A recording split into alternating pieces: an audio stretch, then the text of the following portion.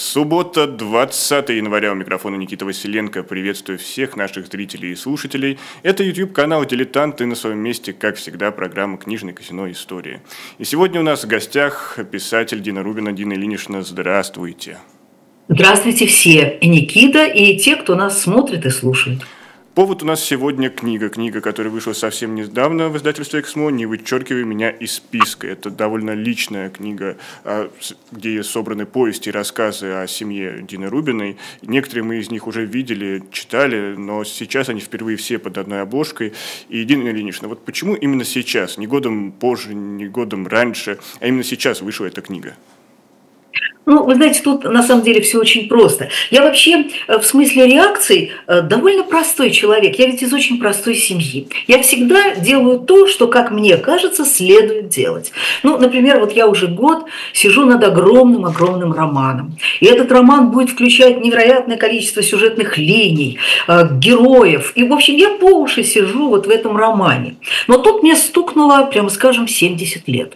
А 70 лет, знаете, это ведь такой библейский возраст. Это как бы время человека на земле считается тогда. А сейчас, я думаю, в общем-то, можно пожить и дольше. Я тут недавно маминой подруге университетской позвонила, ей исполнилось 100 лет. 100 лет? А, Сто лет, да. И я говорю, «А, Нюсенька, говорю я, а у нее ясный совершенно разум такой. Я говорю, Нюсенька, благословите меня, пожалуйста. Дело в том, что в еврейской традиции человек, который доживает до 100 лет, он считается праведником, и он, его благословение, если он кого-то благословит, то это благословение, ну, едва ли не выше, чем благословение священника, например. Я говорю, Нюсенька, благословите меня, пожалуйста. Она говорит, да Бог с тобой, что тебе благословить? Ты успешный человек. Я говорю, я вас очень прошу, особенно сейчас, тяжелый тяжелое время в нашей стране. И она благословила. И вы знаете, мне как-то стало легче, и я продолжаю жить. Так вот, мне исполнилось 70 лет. Но, как вы понимаете, э, любой человек, особенно писатель, он а множество лет собирает какие-то свои вспышки памяти, которые, естественно, воплощены в словах. И у меня вот такие вот разбросанные разные куски. Вдруг я вспомнила там, как мы с отцом ходили в публичную библиотеку на концерты э, музыки, и, он меня тащил туда, где я терпеть не могла эти концерты, а там замечательные пианисты выступали, виолончелисты и так далее. Вдруг вспомнила и записала. Вдруг вспомнила, вот долго уходила мама, и я записывала, записывала, записывала, записывала э, какие-то ее высказывания. И вы понимаете, вдруг я поняла, я поняла, что если я сейчас не напишу книгу о родне, о корнях, о том, на чем возросла как бы наша семья, то мои внуки, например, а они уже люди совершенно другой культуры, они израильтяне, а, и у них там с другой стороны, со стороны их папы, огромная родня с большим количеством детей, племянников, внуков, у них огромное количество двоюродных братьев и сестер. Я поняла, что, э, что вот эта линия, вот эта тоненькая связь, она будет упущена, и уже никто ничего не узнает. И я дала себе задание, я заставила себя сесть и собрать под одной крышей, под вот этой вот крышей, просто истории моей семьи. А у меня семья была очень забавная. Она была очень, очень яркая, очень нестандартная, очень дикая в каких-то проявлениях. И вот я вдруг поняла, что а вот врать я сейчас не буду. Потому что, вы понимаете, писатель – это врун в самом ослепительном смысле слова. Он врет не потому, что он хочет соврать, а потому, что он подчиняется неким литературным законам, эм, которые диктуют правду искусства. Не правду жизни. Правда жизни, она на самом деле никого не интересует. А что такое правда искусства? Ну да, в уголовном суде правда жизни, конечно, важна, безусловно. Вот, но, но правда искусства, она гораздо выше. А тут я поняла, что, пожалуй, врать не стоит. Уж писать так писать. Вот села и написала. Я держала себя за горло. Я пыталась все-таки каким-то образом немножечко повернуть события, так чтобы, например, там и папа выглядел поаккуратнее, и мама как-то выглядела более, ну, э, таким э, традиционно почтенным человеком. Нифига. Получилось то, что получилось, не говоря уже о том, что там есть э, новелла «Душегубица» о моей внучатой бабке, э, так сказать, родной сестре моей бабки. Имени Берта. Да. которая просто убийца. Вот, и я с удовольствием, с удовольствием собрала вот под общую крышу вот эту всю родню. Вот, и, э, и вы знаете, честно говоря, я, я не думала вообще, что... Э, я думала, что я для себя пишу этот сборник. Вот это вот мой долг, я напишу для себя, для своей семьи, для внуков и так далее. Что это очень личная книга. Я понятия не имела, как она прозвучит почему-то сейчас, видно, люди как-то истосковались по каким-то человеческим а, просто чувствам. И, и мне, я получаю письма, огромное количество писем. Люди пишут, что ужасно тронуты, что вспоминают своих родителей. И вот, вот мама, Сегодня я получаю от своего приятеля письмо, который дочитал повесть о родителях, а он человек очень серьезный, бизнесмен и советник по бизнесу и так далее, и так далее. И он говорит, Дин, вы знаете, расплакался. Я читал новеллу о маме, и вы понимаете, у меня мама, она дожила до очень глубоких лет, но она, была, она очень страдала артритом, но была абсолютно ясной память. И, и жила с моей сестрой. Я приехал как-то, я помню, она уже была очень-очень стара, и для того, чтобы ей доставить какую-то радость, я стал рассказывать о своих успехах. Ну и немножечко приврал. Ну, ну немножечко так. Ну просто, чтобы она гордилась мной. И она мне строго сказала, «Рома», — сказала она, — «у меня болят ноги». И все. И, и вот я поняла, что это тоже блестка, такая блестка жизни. Но вот действительно книга вышла в самый нужный момент, потому что многие мои гости, кто бывает в этом эфире, всегда говорят, вот если вам кажется, что за окном мрак, ваша основная опора – это ваша семья. И это идет вот просто генеральной линии от эфира к эфиру. И сегодня еще, например, наша зрительница Татьяна Замятина пишет в чат «Здравствуйте, Никита, здравствуйте, Дина Ильинична. Зашла поблагодарить за книгу «Не вычеркивай меня из списка». Вы очень помогли мне в аналогичной ситуации с болеющей мамой не перестать, э, не перестать ее очень любить. И Здесь действительно вы работали с памятью, памятью о своей семье, и когда к ней возвращаешься, к памяти, когда тебе было все-таки иногда больно, когда кто-то сталкивался из твоих близких с болезнью и, к сожалению, уходил из жизни, как, каково это было снова переживать?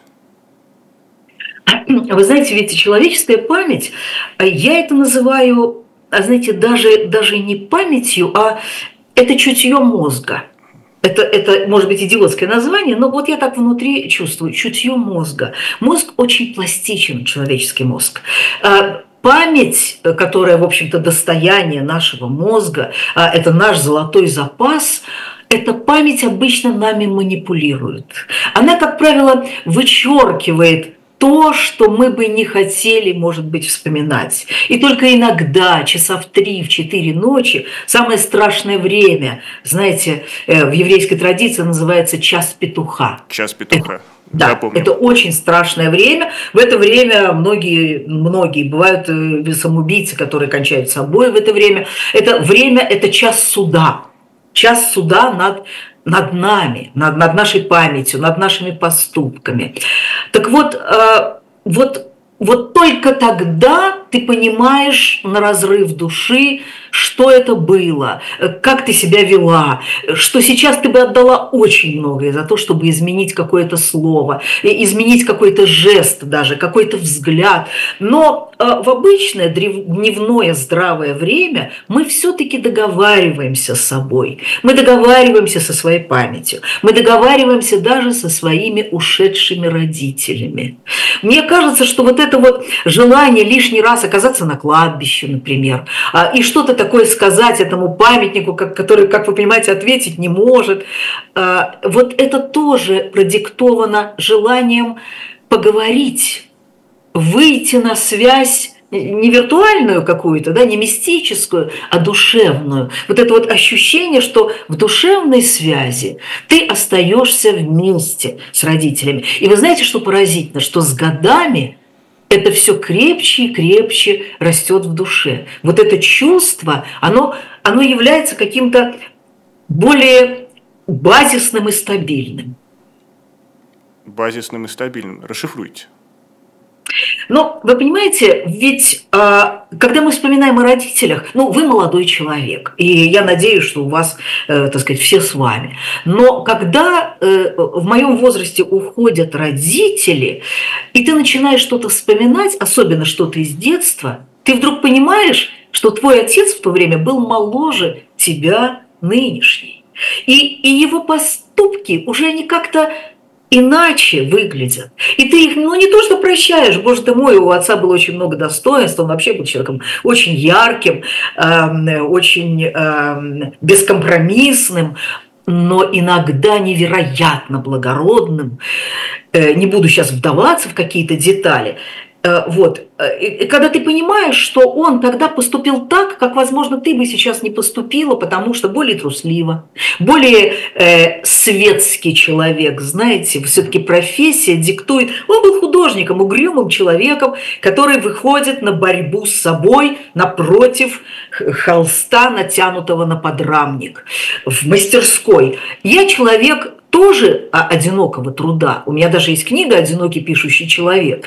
Вот. Но все-таки я слишком часто появляюсь на людях. Может быть, еще благодаря тому, Наш что эфир я тому свидетельство. Да, да, да, да, да. Ну, может, потому что я еще вообще выступаю. Я часто выхожу на подмостки, эм, выступаю перед читателями и так далее. Вот. А, но вы понимаете, вот в какие-то моменты я чувствую, что он вот оттуда, из тех лет, преподает мне какой-то урок. Что-то он мне этим говорит. Вот тем воспоминанием, которое вдруг у меня промелькнуло, что-то он мне сказал. И вот это, вот это ощущение каких-то новых нитей, которые связывают наши души, оно становится все более основательным в моей жизни. Потому что я становлюсь ну, с каждым, э, с каждым годом я приближаюсь к его возрасту. Отец умер очень преклонного возраста человеком, но, в общем-то, я приближаюсь к нему. И мы становимся как бы, понимаете, это другое качество отношений, мы становимся товарищами. Товарищами. Дина Ильинична, а согласны ли вы с тем, что люди остаются детьми, пока живы их родители?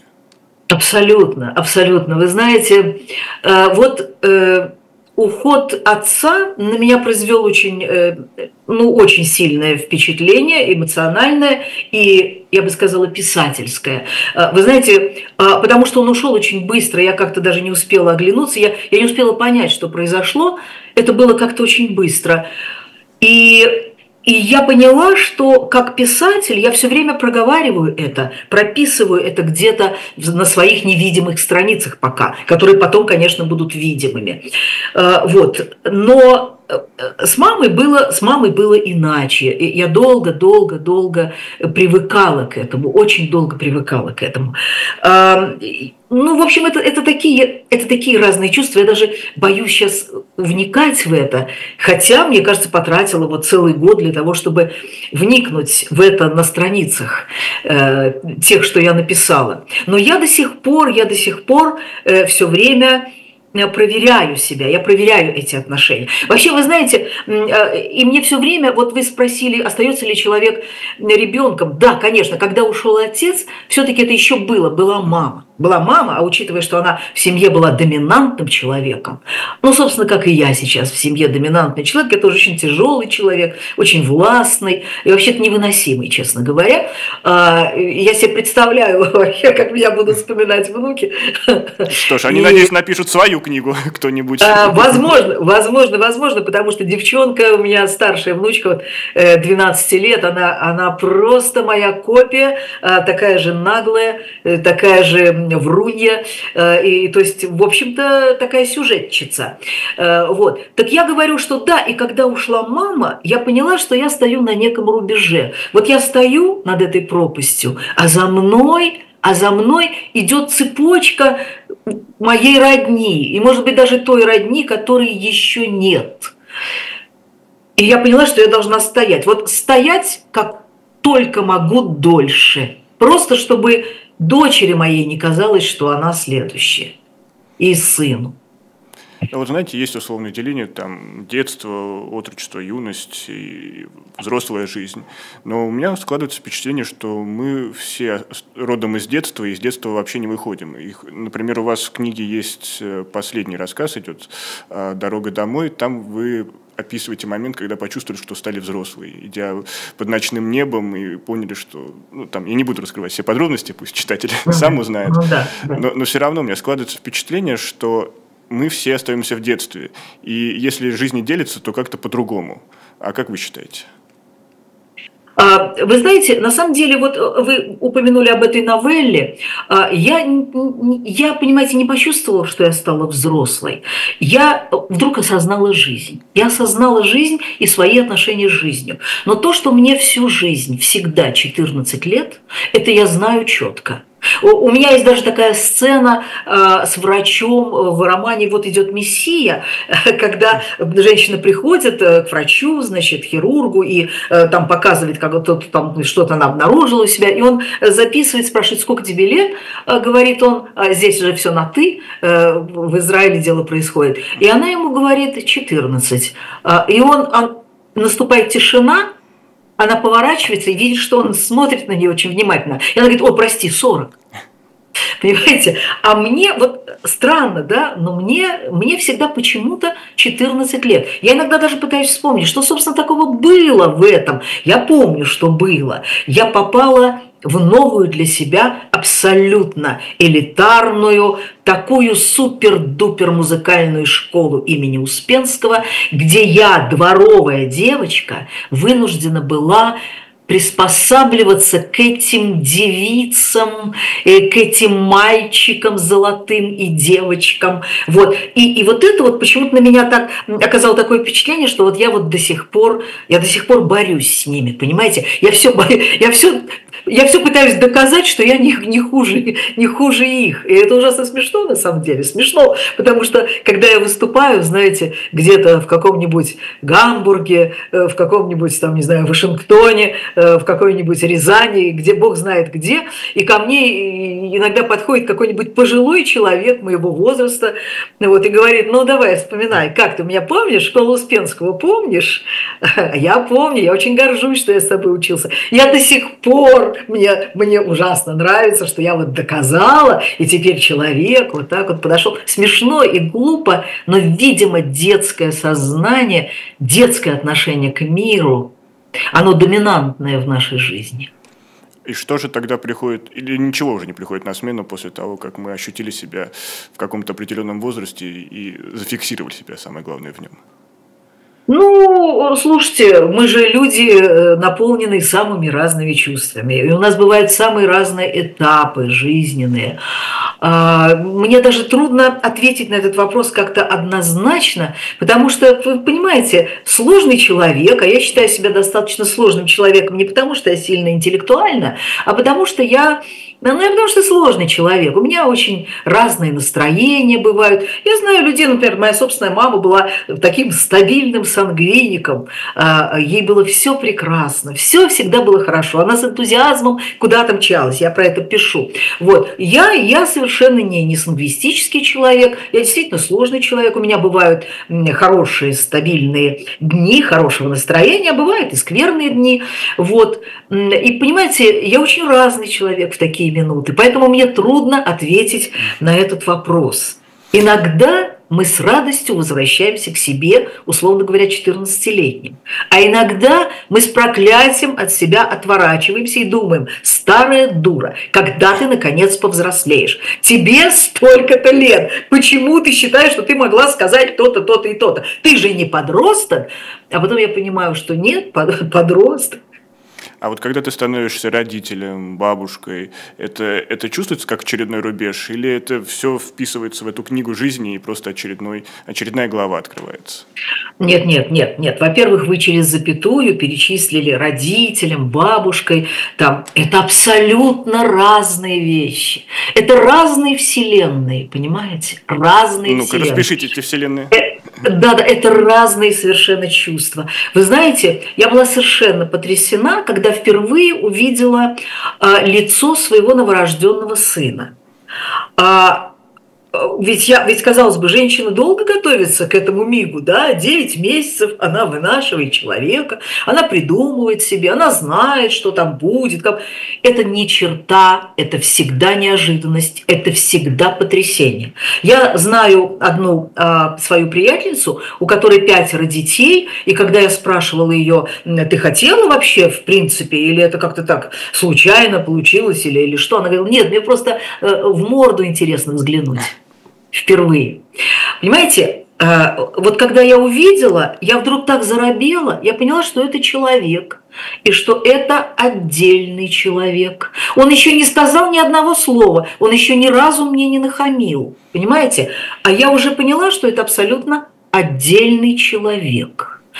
А э, когда родилась дочь, я все-таки была уже, уже взрослым человеком, я была взрослой матерью, у них разница 11 лет. Вот. Но все равно это то же самое потрясение. Это, это такое знакомство странное с этим пришельцем, это удивительно. И совсем другое дело, когда рождаются внуки. Понимаете, исчезает эта чудовищная тяжесть ответственности. Исчезает, потому что это родной комочек, это чудесный, замечательный, маленький, крошечный такой комочек, но это другой ребенок, это, это ребенок не твой, это ребенок твоей дочери, понимаете? И, и несмотря на то, что я обожаю своих внуков, я абсолютно иступленная бабушка, я, я страшно их балую, я, я абсолютно безобразно их воспитываю, когда они у меня, они просто... Связано ли это с вашим детством, ташкентским детством? Да, конечно, потому что детство у меня было очень суровое, безусловно. А у меня было суровое детство, огромное количество обязанностей. Вот, поэтому, поэтому внуков я стараюсь ну, освободить от всего. И, знаете, я, я помню, что вот мы отдыхали, нет, мои дети отдыхали там где-то там в Болгарии, а, и, и дочь запретила, им запретила что-то от меня просить, у меня просить. Скажем, если мы заходим в магазин, нельзя говорить, что вот там то-то красивое или что-то, баба немедленно вытаскивает кошелек, как говорит моя дочь, ты вытаскиваешь кошелек как быстрее, чем горец вытаскивает кинжал. Э, вот. И и вот они идут, и там какое-то объявление, строится дом, такие-то квартиры, там столько-то, там чего-то. И, и, и внучка говорит своему отцу, израильтянину, только не надо бабе говорить, а то она сразу побежит покупать нам эту квартиру. Так что, да, это совсем другое. И вот когда когда у тебя появляются твои вот эти существа, за которые ты просто порвешь любого. Вы знаете, вся интеллигентность, вся вот эта вот, э, вот эта вот э, воспитанность, она вся куда-то улетает. Я абсолютно дикая мать, и я дикая бабушка, и я четко знаю, что как бы торжественно не выглядела в кабинете завуча а, чья-либо мама или папа, а, они изо всех сил сдерживаются, понимаете, чтобы не разорвать этого завуча ради своего отпрыска. И это нормально, я утверждаю, это нормально. Это нормально. Я напомню, что у нас сегодня в гостях Дина Рубин. У нас в центре внимания книга «Не вычеркивай меня из списка». Это очень личный сборник рассказов, повестей о семье Дины Ильиничны. И мы сейчас сделаем совсем небольшую паузу и совсем скоро вернемся. Оставайтесь с нами. Это YouTube-канал «Дилетант», программа «Книжное казино».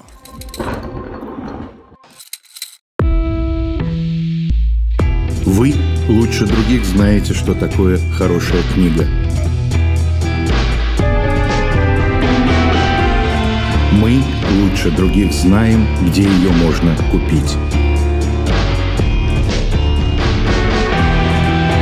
Книги на любой вкус с доставкой на дом. Интернет-магазин «Shop Дилетант Медиа».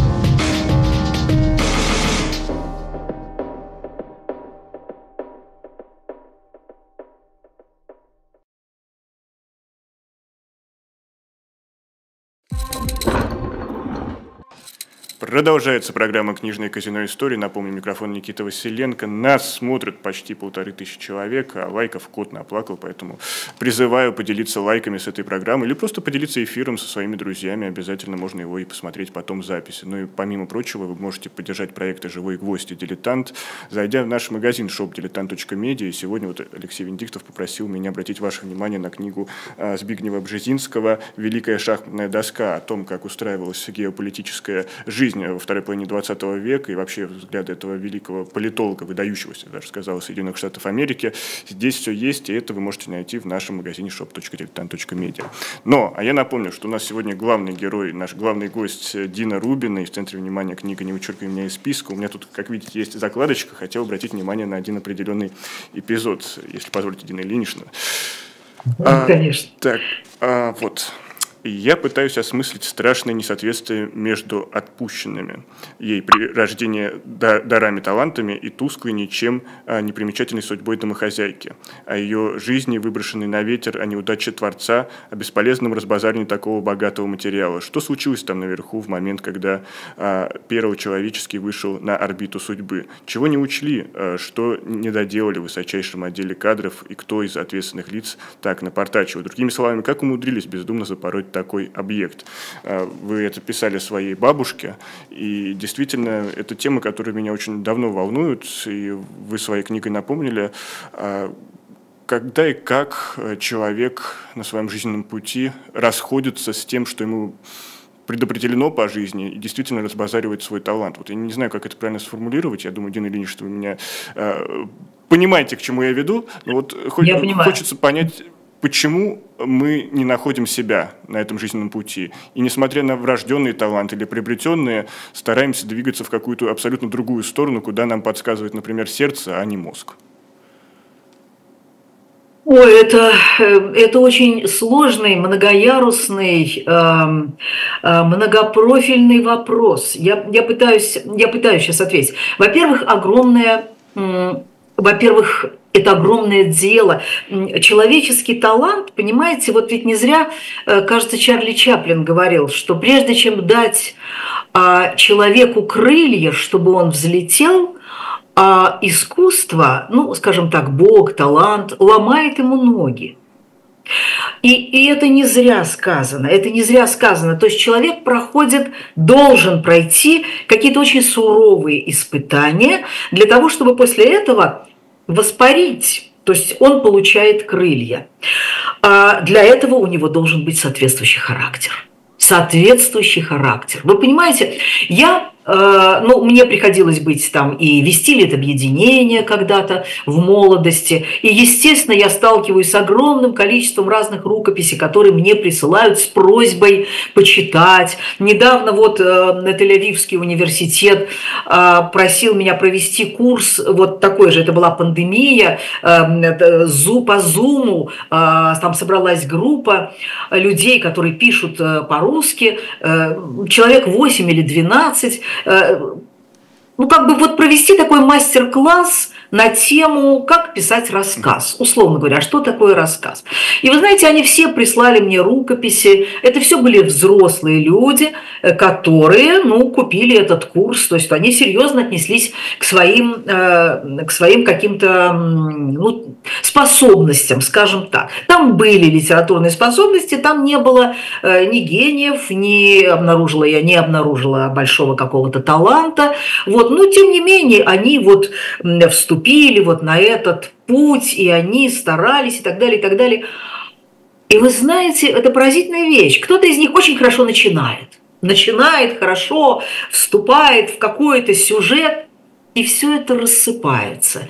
Э, способность, писательская способность создавать миры дар писательский, он включает огромное количество компонентов, огромное количество компонентов. Кто-то замечательно пишет диалоги, и дальше этих диалогов он не движется. Кто-то замечательно составляет сюжеты, но это исключительно, скажем так, конструкция. Это вы прям качество сценаристов которой... описываете, которые должны работать в команде.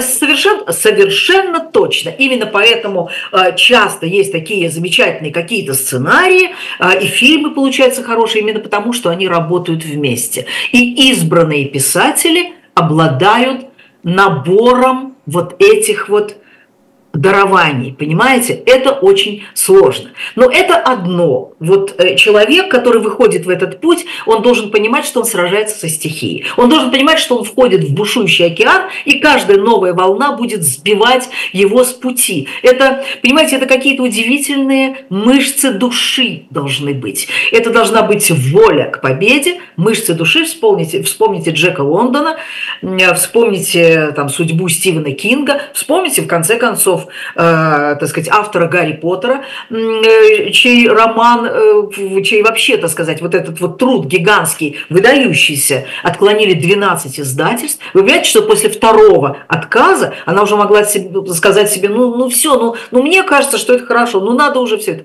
Так вот, это с одной стороны, понимаете, сила. Сила и беспощадное отношение к себе бренному – в пользу того дара, который есть в тебе. Кроме всего прочего, есть еще одно обстоятельство. Понимаете, какая штука? Если мы уже говорим, например, о моей бабке, да? Ведь на протяжении веков, веков женщина все-таки оставалась домашним человеком. Она рожала детей, она должна была выйти замуж, иначе она считалась неполноценной. А, скажем, приживалкой, старой девой могла остаться, ну, там, какая-нибудь хромая, там, не знаю, там, какая-нибудь больная родственница, и она жила э, при какой-то семье, например, своей сестры или там своего брата, помогала воспитывать детей. Либо это уже надо было быть Эмили Диккенсом, либо Шарлоттой Бронте. Понимаете? А, это, это должна была быть, опять-таки, мощная натура, которая победила все. Я была потрясена, когда оказалась в Кембридже, а, меня там пригласили с выступлением, с лекциями, меня водили по, по этому очаровательному, конечно, городку и так далее. И я узнала очень много, очень много фактов удивительных. Мне, например, сказали, что э, женщин студенток в Кембридж стали принимать, говорит, вы знаете, Дин Ильич, там 76 -го года, может, они сказали 74-го, но это было вот такое время. А, я спросила, да, 1800? Они сказали, нет, 1900. 76 -го. И вспомните все произведения, э, понимаете, вот а, британских писательниц – они наполнены тем, что девушки стараются, они все время кого-то выбирают, чтобы, чтобы выйти замуж, и женщине не давали образования. И только когда она оказывалась могучим человеком, она перебарывала судьбу, но она оставалась одна, как правило. Вот. Так что, понимаете, это надо было быть, э, ну, это надо было быть могучим человеком. Такие женщины были. В последнее время, естественно, э, с развитием э, ну, каких-то прав, у женщины и ее самостоятельности в решениях своих и так далее. Конечно, у нас появилось и много писательниц, и художниц, и, и кого угодно, и зав. лаборатории, ну и прочее, прочее, прочее, и лауреатов Нобелевской премии. Это понятно. Вот поэтому я говорю, вопрос сложный, с историей и с многими травматическими обстоятельствами. Ну вот если брать травматические обстоятельства, одно из них – это место, где ты появился на свет, значит ли это, что современный человек, если он хочет себя раскрыть, не должен привязываться к какой-то конкретной стране и быть, например, гражданином мира? Нет, я так не считаю. Я так не считаю. Вы знаете, а, я очень люблю а, произведения нескольких а, писательниц. Ну, например, там британская писательница Кейт Аткинсон, очень талантливая. Там Тана Френч, это ирландская писательница. И есть совершенно замечательная писательница американская Энн Тайлер. Она, она, просто, она просто замечательный прозаик. Так вот, все Действие во всех ее романах, во всех ее романах происходит в Балтиморе, где она родилась и где она живет. Я даже не представляю, выезжала ли она когда-нибудь из Балтимора. Но, э, вы знаете, я, э, я всегда выбираю какое-то другое место действия в своих романах. Например, Мало того, мне всегда интересно войти в это пространство и оказаться там своей. Ну, например, когда я э, в романе трилогии «Русская канарейка» описывала Алмату, а, э, то я не была ни разу там еще тогда. Уже после того, как вышел роман, я впервые оказалась в Алма-Ате, и, и, кто-то меня спрашивал, как? Ну вы же там описали зеленый базар. Я говорю, я много чего описывала. Я там описала апортовые сады, которых к тому времени уже не было. Так вот, мне это страшно интересно. Например, в новом романе, тоже огромном, над которым я сейчас работаю, а, там будет, вот меня ужасно привлекло, Астрахань. Астрахань советских времен, рыбная, икряная, волжская Астрахань. Это мне, ну, просто меня захватило. И будет военная Бухара. Понимаете, и я с удовольствием работаю над этим, с удовольствием. Но вот берем это не, это, понимаете, это ни о чем не говорит. Это не говорит ни о таланте писателя, это не говорит ни о широте каких-то его, там, не знаю, воззрений или каких-то устремлений. В конце концов, блистательный, гениальный писатель Фазиль Абдулович Искандер практически все свои вещи писал о Чегеме, Действие происходит в Чегеме. Это даже не Балтимор, который огромный город с огромным конгломератом людей, э, идей, жизни и так далее. Чегем. Сколько там было населения? А, а Искандер построил свою вселенную, понимаете? Вот э, величина писателя – зависит от того, какой величины Вселенную он может создать, условно говоря, из, э, из кофейного зерна. А вот лично у вас, когда вы все-таки стали большим писателем с э, наверное, сотни тысяч тиражей, десятками переводов на иностранные языки, у вас все равно появлялось ли когда-нибудь сомнение, а тем ли я занимаюсь, для чего предназначено? Ой, нет, никогда сейчас скажу почему. Дело не в том, что ты прям уверен, уверена в своем там даровании. Все очень просто. Я просто ни черта другого делать не умею. Впрочем, нет, значит, умею. Я умею читать еще то, что я пишу. А вот э, когда я выступаю, я, я читаю. Вот я, наша мама шансонетка любит ночью танцевать, говорит, да, мой муж. Вот когда я читаю, когда я на сцене, мне кажется, я тоже на своем месте. Вот и все. Я только этим и занимаюсь в жизни.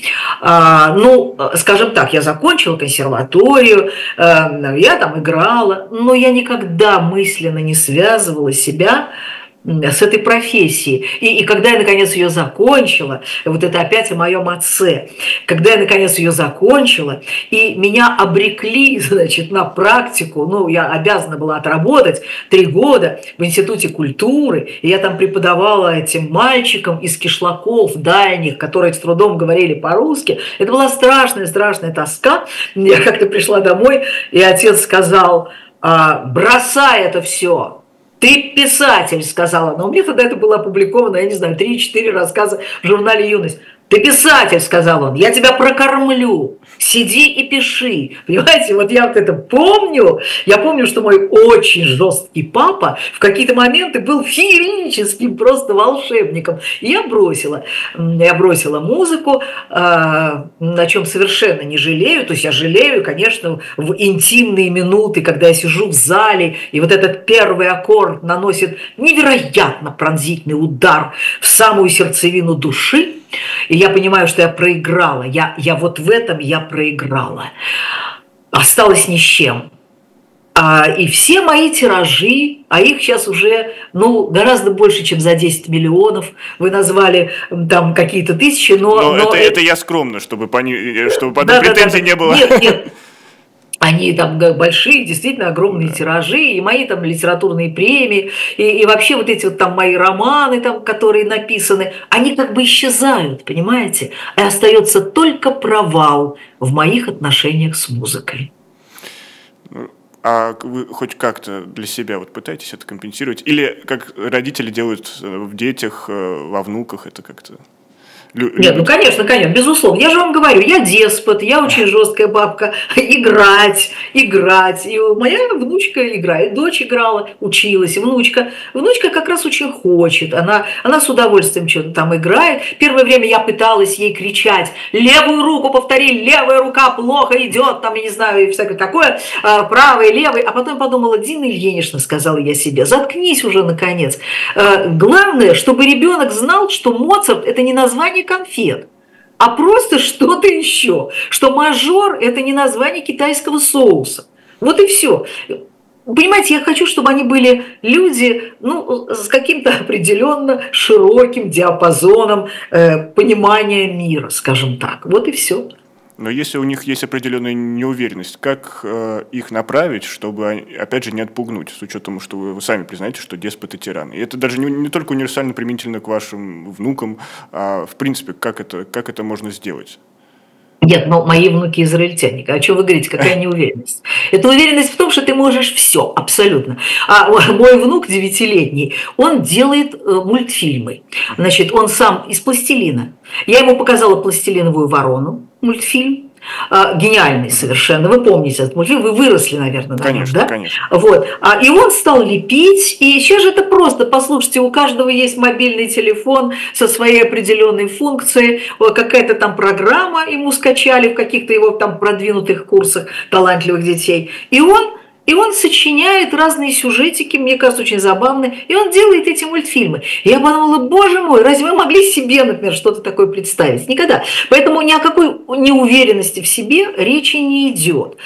А, но вот а действительно наступает момент в жизни подростка, я думаю, что это уже подростковое такое, вот, вот скорее у моей внучки, а, когда надо надо похвалить, не надо бояться человека хвалить. Вот э, Нужно сказать, что ты сам... Хотя, знаете, ну, очень забавные вещи. Вот, например, иногда я заигрываю со своей внучкой, а она человек очень э, такого жесткого юмора. Вообще она очень на меня похожа. И иногда я подлизываюсь. Знаете, Понимаете, я со своим, ну, ограниченным, скажем, ивритом, э, я понимаю, что она на меня смотрит, как я смотрел на свою бабку, понимаете? Вот, ну, такая, ну, бабка и бабка, да, неважно, там э, три э, книжных шкафа со всеми моими изданиями, ну, это все ерунда. Вот, а, а вот иврит. И я говорю ей, шаленько говорю я, ты, наверное, самая красивая девочка в классе. Она пришла с каким-то там, с какой-то заколкой красивой. Я думаю, сделаю комплимент. Ты, наверное, самая красивая девочка в классе. Она так дернула э, плечом, такое лицо э, скроила. А я говорю, нет, я уверена, что ты самая красивая девочка в классе. И она мне говорит, баба, это мнение, но не факт. Ну что тут, что тут с ними уже сделаешь? Ой, вот так мы незаметно, благодаря книге «Не вычеркивай меня из списка», перешли к забытому уже формату программы «Родительское собрание», которая была на их Москвы, вот с такой легкой напоминание об этом формате. А, но время, время нашей беседы просто несется, несется к своему завершающему а, акту такту, акту, да, извините, что-то у меня сегодня с, э, с словарным запасом как, какая-то путаница. Наверное, от радости, что действительно, Дина Ильинична, мы с вами последний раз виделись, получается, аж в ковидные времена. А, да, да, поэтому, да точно, помню, помню, помню. Еще это даже... была замечательная встреча, с вами очень уютно и свободно разговаривать. Знаете, это отнюдь, отнюдь не со всеми. И главное, я совершенно не устаю. А, вы знаете, интервьюеры – это а следующая тема, я надеюсь, какой-то моей книги, потому что это, это эта тема просто бездонная, понимаете? Ну все, вы, вы меня сейчас обезоружили, все мои вопросы. Все, вот прям блокнотик выкидываю, зачем он... Больше, лучше уже не скажет, можно сказать, можно уходить из профессии. Но все же, сейчас времена полной неопределенности для многих. Мы по всему миру наблюдаем самые разные новости. Там и войны идут, и в Соединенных Штатах э, тех же тоже там не в порядке, везде не в порядке что-то. И все ищут какой-то опору. И вот в самом начале, да, вот я напомнил, что есть э, основная, которая все говорят, семья, а, и это та опора, на которую больше всего хочется надеяться. Но все же не всегда даже семья может помочь сохранить определенный оптимистический взгляд. Дина Ильинична, есть ли какая-то еще опора, чтобы сохранить определенный оптимизм, э, глядя в будущее? Вы знаете, да. Ну, я не буду, я не открою секрет вам, да, и все знают, и сейчас в центре внимания так называемой мировой общественности, причем э, самого разного э, с самых разных точек внимания а, война, э, война в Израиле. А, это, это очень тяжелая война, очень э, кровопролитная война со многими фронтами. Так вот, вы знаете, одним из потрясений а, израильского общества было то, что ребята, а у нас народная армия, по-настоящему народная армия, причем очень ответственно народная армия, потому что я помню, что когда произошла эта чудовищная, непроизносимая трагедия 7 октября, я в это время была э, в Америке, и, естественно, я немедленно ринулась э, возвращаться домой, хотя впереди у меня было много намеченных выступлений. И я, это было в Лос-Анджелесе. Я умудрилась последний билет схватить на самолет Эль-Аля, вот тогда я увидела страну, я увидела свою страну. Это был практически весь мужской самолет. Потому что все э, бизнесмены, туристы, все, кто оказались по работе, по учебе, с каким-то постдокторатом, э, с какими-то э, делами, на какой-то конференции, все мужчины э, от, там, не знаю, 23 да, до 45 или даже 50 лет они ломились домой. Понимаете? Это ведь а, редчайший случай, я не знаю другой такой страны, где бы во время бедствий национальных а, весь народ а, стремился защитить прямо своими телами страну. Вот. И что сейчас и происходит. И вот то поколение, которое ругали, которое называли поколение тиктокеров, которые что только о них не говорили. Вот это сейчас поколение встала на защиту. И для меня это вот это ощущение невероятно сильного гражданского общества, вот это меня держит. Это меня держит, хотя тяжелейшее время, тяжелейшее время мой зять на войне, понимаете, отец моих внуч, внуков. И, и это очень страшно. И тем не менее, вот это меня держит. Э, мощное гражданское общество э, которое знает себя, знает свои ошибки, которое как с волчьей хваткой бросается на правительство свое же. Вот это вот, вот это меня держит. Что ж, я, сидя в Москве, могу только позавидовать гражданской общности Израиля, но Поживем, увидим. А пока, Дина Ильинична, спасибо вам. Ой, самое главное мы не раскрыли, но пусть это узнает читатель, откуда, откуда взялось э, название, взялось название этой книги, но пусть это уже все останется для читателя. Ну, это как раз да, для да, читателя. Да, это как раз читатель. Поэтому, Раскроет книгу, прочтут да, и Не вычеркивай меня из списка Дина Рубина, премьера сегодня на «Дилетанте». Дина Ильинична, спасибо вам большое, что нашли время, и надеюсь, до самых новых и скорейших встреч. Спасибо, Никит, спасибо. Мне было очень приятно, что вы меня пригласили. Будьте здоровы. И я всем, кто нас смотрит, желаю, конечно же, здоровья и, э, и мира в своей душе.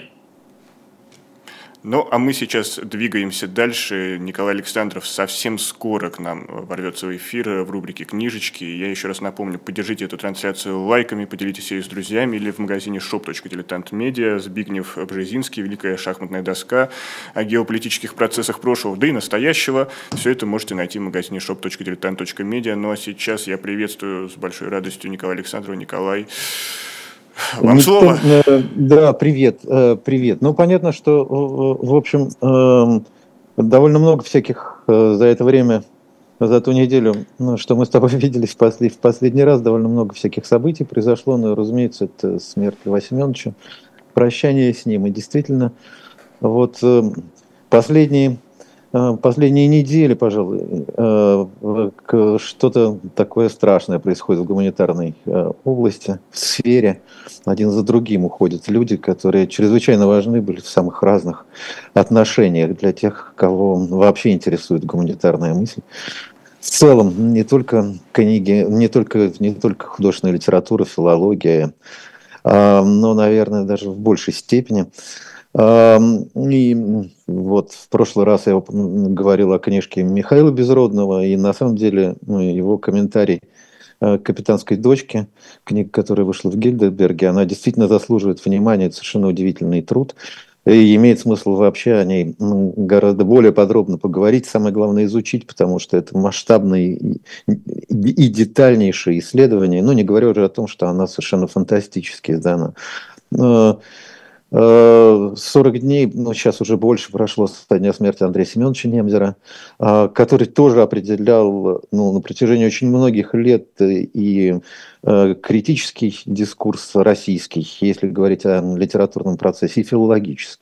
Можно вспомнить его исследования, которые, касались не, не только русской классики, но теперь уже, правда, как э, говорить о русской классике, приходится расширять это пространство, ну, например, его, его статьи, исследования о, о Солженицыне, о, не знаю, об эпопее «Красное колесо», можно много чего называть, а, не говоря уже о его преподавательской работе. Ну и, конечно, э, как-то осозналось, что уход Льва Семеновича – событие э, масштабное. И Лев Семенович написал, с, с, с моей точки зрения, блистательный некролог, посвященный э, Немзеру как раз, да, потому что, в общем, это, в принципе, люди, э, находившиеся в, э, на разных дистанциях с друг другом, но, тем не менее, представляющие какой-то один круг, связанные с друг другом. Рубинштейн написал, что смерть человека подобна тому, как здание, которое строится или реставрируется, сначала обставлено строительными лесами, а потом эти леса убираются, когда происходит смерть автора. Издание воспринимается совершенно иначе. И вдруг открывается то, что раньше было заслонено какими-то обстоятельствами, мешало разглядеть по-настоящему это здание. С самим Львом Семеновичем произошло то же самое. И я обращаю внимание всех на, на то, что, собственно, открылось, да, потому что интернет сегодня полон самыми разными ссылками на выступления э, Рубинштейна, ну, например, на, на те записи, которые существуют на портале Арзамас. Э, конечно же, это и его тексты, которые и звучали, и которые были в письменном виде. И то, что раньше, может быть, было в меньшей степени доступно, как, например, абсолютно блистательные эссе, последние эссе, которые много открывают в Рубинштейне, которые публиковались им в, на портале Репаблик. Они, они открыты, и это совершенно фантастическое чтение, с моей точки зрения, которое позволяет совершенно иначе взглянуть на фигуру Рубинштейна. А, в частности, потому что Лев Семенович всегда говорил, э, в тексте важно не просто что написано да, и как написано, а важен адресат кому, кому, собственно, адресован этот текст. Он много изменяет. Сам Рубинштейн ориентировался э, во многих своих текстах на круг понимающих людей. И этот круг понимающих людей расширялся, и мы видим, сколько их в результате оказалось. Но вот в его э, последних эссе, э, помимо тех людей, к которым он обращался, той аудитории, которая ему понятна и внятна, появляется и другой адресат, совершенно иной.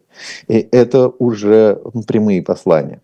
И действительно, вот э, ну, несколько дней э, прошло, э, совсем это еще все достаточно горячее, да, и тут сама действительность нам предлагает темы, которые, конечно же, стоят эссеистики Рубинштейна. Но я, я имею в виду этот фантастический спор о фенимитивах, э, который, ну, ну, действительно, э, кроме некоторого изумления, ну, если не иметь в виду, опять-таки, Полю Семеновичу, кто же адресат этого послания, да, а, погружает нас в какую-то, ну, безумную уже тему, когда, в общем, высшая инстанция, подразумевающая, ну, на самом деле, наличие какого-то какого-то интеллекта, образования, Э, выступает с какой-то абсолютной чушью, не имеющей отношения вообще ни к чему. Да? Я уж не говорю даже о филологии, но вообще.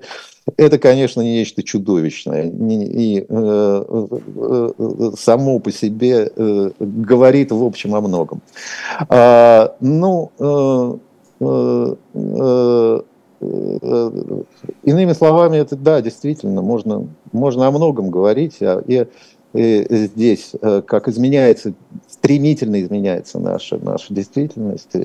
И, о новом проекте, э, который возглавил Захар Прилепин, это буквально вот свежая новость, и о многом другом. Да, действительно, другая, новая эпоха начинается. О многом я хотел сказать, э, э, но теперь обращу все-таки внимание на те книги. Ну, во-первых, конечно, У нас 40 секунд, 40 да. секунд буквально, Николай. Читайте... Либо, либо списком, либо переносим на следующий раз. Да, да, да, да, да. Э, просто не, некоторый анонс. Да, читайте, смотрите, слушайте Рубинштейна и обратите внимание на книги Ксении Букши, которые также доступны. Это книги «Человек и человек», на небе никого нет. Я думаю, что в следующий раз мы поговорим об этом, так же, как и о книге, посвященной Вермееру и Китаю. Совершенно э, удивительная книжка, которая на, на, на днях выйдет в издательстве «Слово» и будет повод о ней поговорить. Что ж, будем ждать этого эфира. Николай Александров сегодня э, выступил с книжечками, но немножечко в формате особого мнения, за что большое спасибо. И действительно хочется подписаться перед э, всеми словами, которые только что прозвучали в эфире. Но время, время подошло к концу, и мы вынуждены э, завершить сегодняшнее книжное казино истории. Спасибо большое,